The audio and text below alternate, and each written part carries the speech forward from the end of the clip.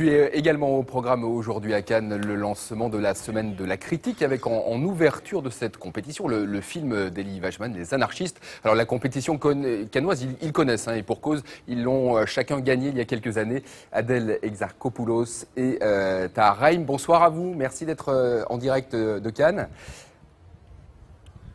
Bonsoir. Adèle, vous aviez été la, la, révélation du festival il y a deux ans pour La vie d'Adèle, un film qui a évidemment euh, changer euh, votre vie et, votre carrière. Ce retour à, Cannes, comment le, vivez-vous?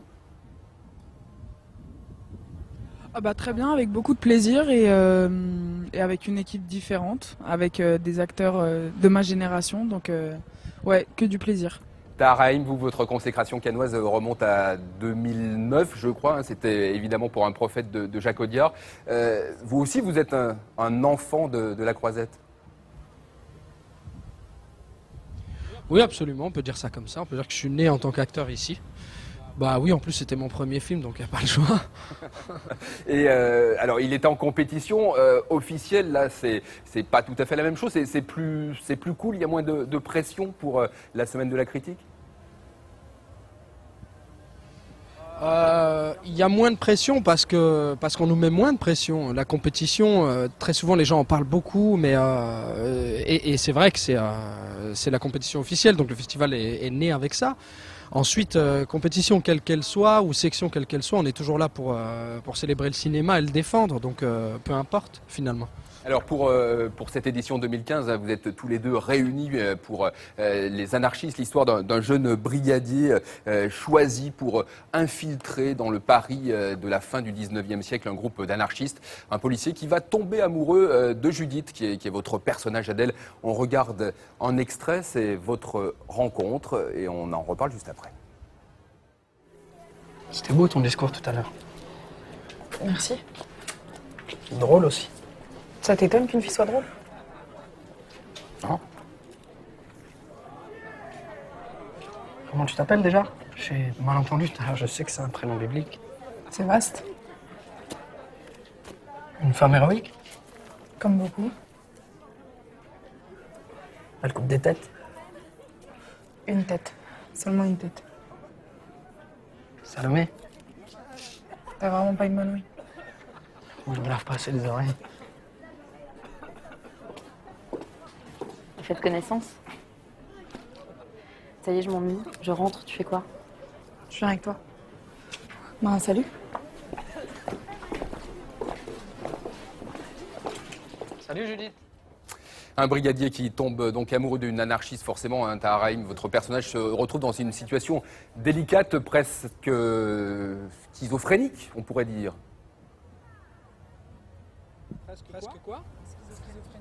Ah, schizophrénique euh, J'irai pas jusque-là, mais euh, en effet, oui, très tiraillé entre, entre euh, deux envies qui sont celles d'appartenir à ce groupe et de céder à, la, à l'amour, euh, ce qui ferait en sorte qu'il quitte ses fonctions d'une certaine façon.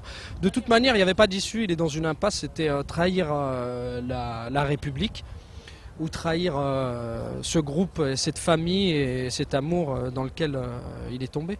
Et il découvre en fait un groupe très hétéroclite. Hein. Il y a des, des prolos, des aristos. il est surpris en fait de, découvrir cet univers anarchiste. Oui, il est surpris de découvrir finalement une, une, nouvelle génération, une nouvelle façon de penser, et il est surpris aussi de découvrir que par bien des biais, euh, il épouse certaines causes euh, dans son fort intérieur que ce groupe d'anarchistes et que l'anarchie elle-même prône, alors qu'il est un enfant de la République et un produit de la nation, puisqu'il était orphelin et euh, qu'il est brigadier donc, dans le carcan de la police. Adèle, que, voulait-il, que, cherchait-il à l'époque, en cette fin de 19e, début 20e siècle, ces jeunes anarchistes?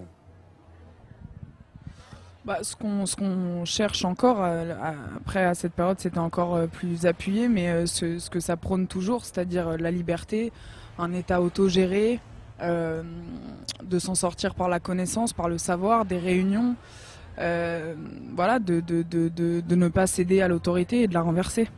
C'est un Révolutionner l'homme aussi.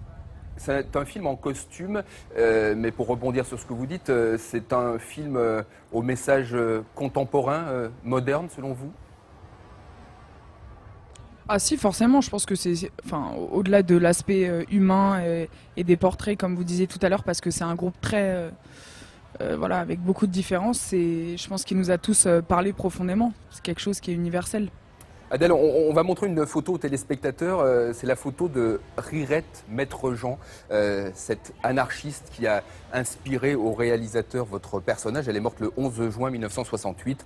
Euh, vous avez lu ses, ses mémoires, hein, me semble-t-il, pour préparer le film?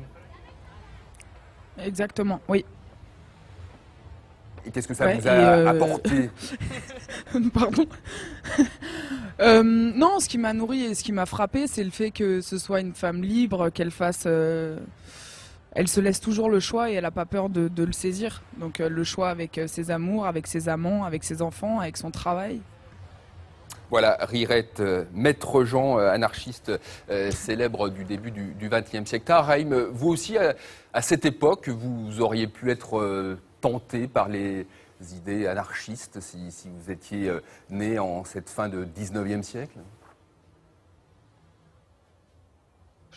Euh, oui, je pense que oui. En tout cas, des anarchistes qu'on représente dans ce film, qui sont euh, des anarchistes individualistes, c'est-à-dire qu'en recherche de liberté, oui, j'aurais pu, j'aurais pu, j'aurais pu en être, absolument. ouais. Euh, préciser hein, que ce sont plus euh, des personnages romantiques que, que des combattants, que, que- que- ils ne sont pas très violents en fait, ces, ces anarchistes-là. Absolument. Plutôt pacifistes. C'est pour cette raison que je dis ça, c'est-à-dire qu'ils ne sont pas dans, réellement dans, dans, dans, la, dans la lutte armée. Euh, on s'en rend compte à la fin et il s'agit de la dégénérescence du chef de leur groupe et on voit bien que tout le monde n'est pas totalement d'accord avec lui. Euh, on va dire que c'est euh, des anarchistes intermédiaires en devenir. C'est pour ça que je dis que c'est des anarchistes individuels, individualistes. Allez. Tard et euh, Adèle, un, en petit fait, clin il d'œil. s'agit juste Pa- Pardonnez-moi, un petit clin d'œil avant de, de se quitter euh, et concernant la, la chanson. Non, non, c'est pas pour vous couper, c'est pour euh, vous faire entendre une chanson que vous connaissez blague, forcément. blague. Euh, Je blague. les anarchistes de, de Léo Ferré, juste pour le plaisir, quelques, quelques couplets. La plupart fils de rien, ou bien fils de si peu, on ne les voit jamais que lorsqu'on a peur d'eux, les anarchistes. Voilà, les anarchistes de, de- de Ferré. Vous, vous connaissiez la chanson tous les deux? Oui. Oh, moi, ça serait mentir que de dire euh, oui. Non, Bon, alors, mais, découvrir, Adèle, il faudra l'écouter. C'est une très belle euh, chanson de, de Léo Ferré. Pour découvrir vos anarchistes, à vous, Adèle Etard, le public devra patienter, hein, parce que le, le film ne sortira dans les salles qu'en novembre prochain. Euh, dernière petite question euh, avant de, de vous laisser poursuivre votre euh, soirée canoise. On a beaucoup parlé aujourd'hui et vu sur la croisette euh, l'actrice Charlize Theron qui joue dans le nouveau Mad Max. Euh, Adèle, vous allez la retrouver, euh, Charlize Theron, sur euh, le, le tournage euh, du euh, futur Je film vous de Sean pas très bien. Vous me parlez. de- Oui, bah, je l'ai déjà retrouvée et je repars tourner avec elle en Australie là dans la semaine. Mais j'ai pas vu Mad Max malheureusement, je travaillais. Ok, il faudra voir Mad Max et écouter la chanson de Léo Ferré. Ça fait pas mal de choses à faire avant de, de retourner sur le, tournage pas, en. je vais faire mes devoirs. Je te remercie. voilà, mais salut à vous en tout cas. Merci euh, d'avoir euh, été en direct dans le Grand Soir à 3 vous. depuis la, la croisette euh, canoise. Merci.